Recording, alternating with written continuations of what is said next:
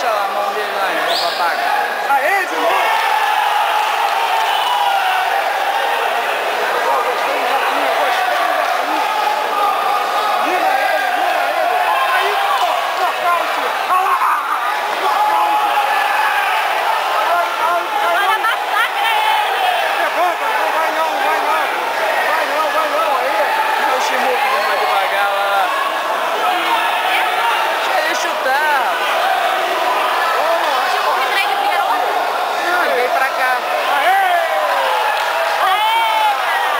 garoto